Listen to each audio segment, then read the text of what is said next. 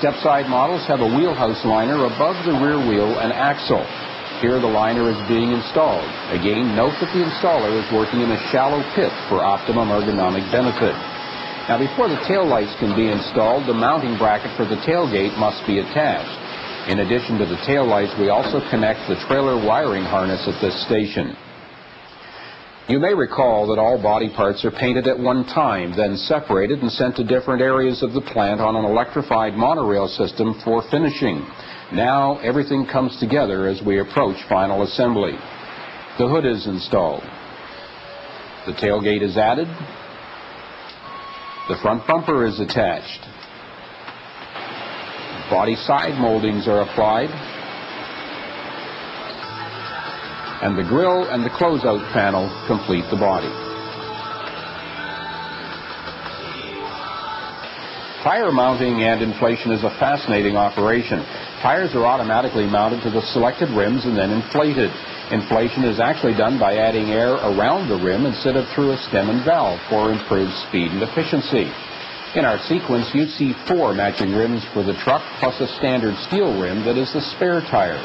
Remember, all full-size pickups come with a full-size spare tire. The plant unloads 13 transport truckloads of tires per day. With a daily production rate of 1,300 trucks and five tires per truck, daily usage totals 6,500 tires per day. Now we can understand the need for automation. Wheels and tires arrive at the assembly line from the tire room. Here we see a spare tire being installed. For the regular wheels, the tire installer starts three nuts when mounting the wheels.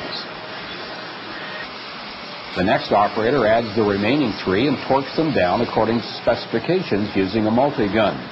Torque is monitored to ensure proper installation. A green light indicates that everything is okay, red is under torque, and yellow is over torque. This is truck unload. The truck is removed from the chassis AGV. This is where the rubber meets the road for the very first time. But trucks can't run without fuel. At fuel fill, approximately 19 liters are added to the tank. And as you can see, the filling is done automatically. As we approach the end of the assembly process, quality checks begin. This operator scans the barcode that is entered into the computer. She checks the gas cap installation and ensures that the wheel nuts are the correct match for the wheel rim. Nine similar stations are found as we come to final assembly. Any defects or repairs are entered into the computer through a touch screen.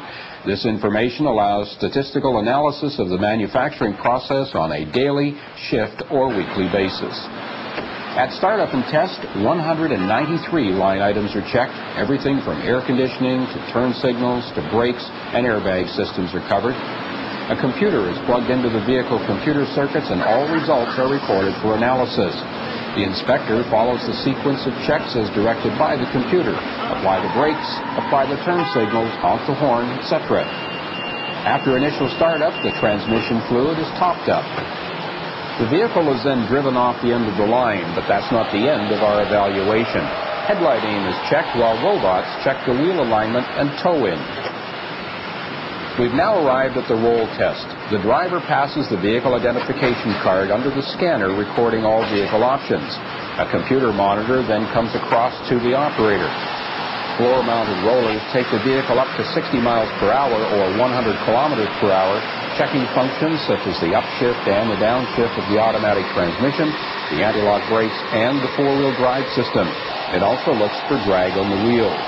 All vehicles must go through this test.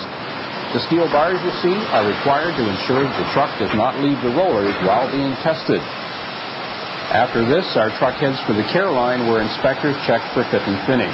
Once past this final examination, it's out the door and on its way to a GM dealership for delivery to a lucky customer. Quality product is not achieved by accident. Constant checking and verification of materials as well as process is critical. At General Motors, product evaluation and testing is a daily activity. A number of examiners spend their days making sure that only the best product leaves the plant. Today we're following Gene Deneen as he performs a complete vehicle audit and road test. Once the vehicle has been selected, it's brought into the inspection area. All pertinent information about the truck, such as the make, model, trim, axle, and vehicle identification number, is recorded into a handheld computer. As he conducts the inspection, any discrepancies will be entered into this unit. All records will be transferred to the main plant computer at the conclusion of the evaluation. Inspection begins with the engine compartment, where all fluid levels, hoses, connections, and fittings are checked. At the same time, inspectors look for any stress on wires or hoses. Plus, they look for fluid leaks. From here, we move to the cab. The inspector checks all operating parts for correct function. Items such as lights, the turn signals, warning chimes, seatbelt attachments, the horn, the radio, sun visors, heating, ventilating, and air conditioning controls, mirrors, as well as the shift lever.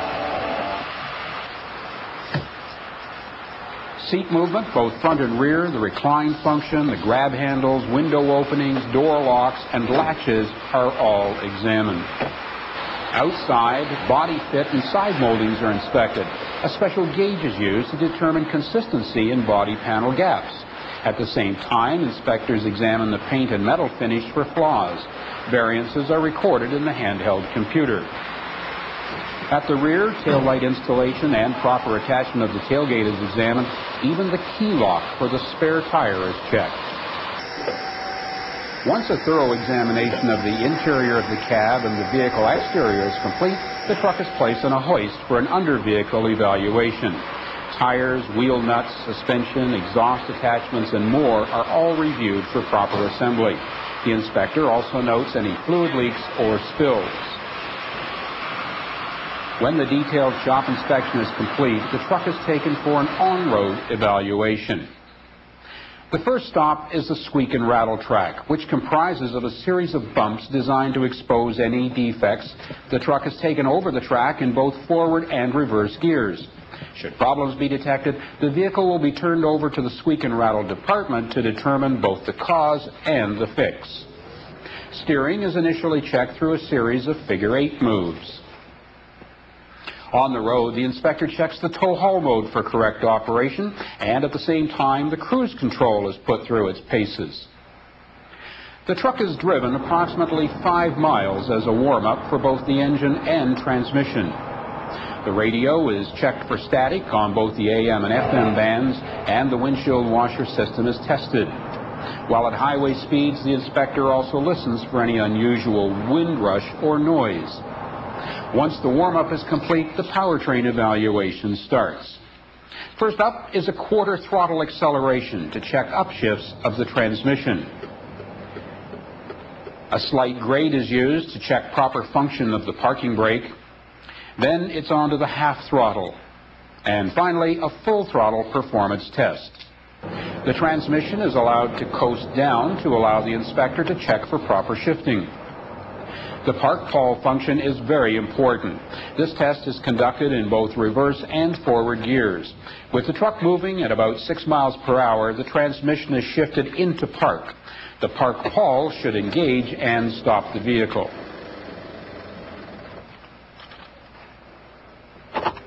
Steering wheel movement is checked for the stop-to-stop -stop maneuver.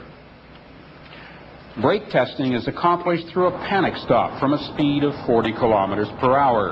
Here, the driver is checking for any pulling action. The truck is then taken up to about 30 mile per hour or 42 kilometers per hour to check for upshifts and downshifts from third to first and back again. The complete round trip test covers 19 to 21 miles. The course was designed to allow the truck to be driven in four different directions. This is necessary to determine the effect of wind rush or noise on passenger comfort. The course also requires an equal number of left and right-hand turns, simulating real-world usage. Once back at the plant, the truck will be subjected to an eight-minute water test in order to evaluate seals. Again, any discrepancies will be recorded in the handheld computers. Only after all of these tests and any required repairs are completed will the truck be released for delivery. So the next time you see a truck which has gone through an individual inspection and road test, smile, knowing that this vehicle meets the standards set by Colonel Sam McLaughlin so many years ago. One grade only, and that the best.